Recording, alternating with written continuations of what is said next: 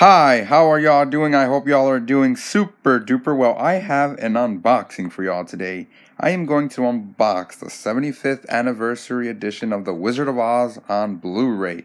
It may not, it may not say 75th anniversary on the Blu-ray, but I can assure you it's the 75th anniversary Blu-ray edition of The Wizard of Oz. So, let's get to it. I actually picked this Blu-ray up quite a while ago. And I'm barely opening it, but as the saying says, better late than never.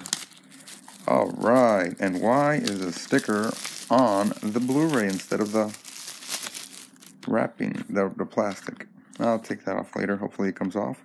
All right, we have Dorothy, Dorothy in the back. Look at that. Over two hours of wonderful extras. All new feature-length documentary, The Making of the Wonderful Wizard of Oz. Plus commentary by historian John Fricke. Sing along features and much, much more. That is awesome. So it's a pretty pretty standard Blu-ray. No DVD in the Blu-ray. I um let's let's see if there's any artwork inside the, the Blu-ray case. I don't think there's gonna be, but there might be. And there is, to my surprise, and it has a scarecrow. Surprising, doesn't have Dorothy, but after Dorothy, I think it's pretty safe to say that the Scarecrow is the next uh, most iconic character in the film. Maybe the, the the Witch of the East or the Witch of the West. The Wicked Witch of the East. I believe I believe it's it's it's the East, uh, and it's a recycled case, which is good. Or made from recycled material. I'm not too sure how that works.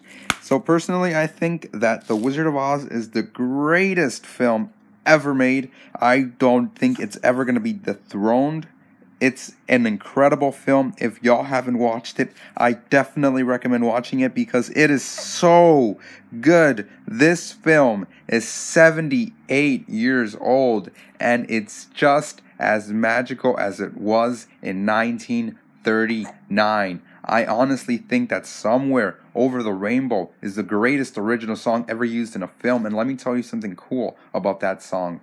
During World War II, a lot of the US soldiers would sing that song and think of a much happier place. That song is magical. This film is magical. And like the beginning of this film says, this film is dedicated to the young and to the young at heart. I love The Wizard of Oz. I think that this Blu ray right here is perfection. I give it 5 out of 5 stars. I don't even know why I'm rating a Blu ray, but I love The Wizard of Oz, and this is a great Blu ray, and I'm really, really happy to have it in my collection. Thank you so much from the bottom of my heart for watching this video, and please have a magical day.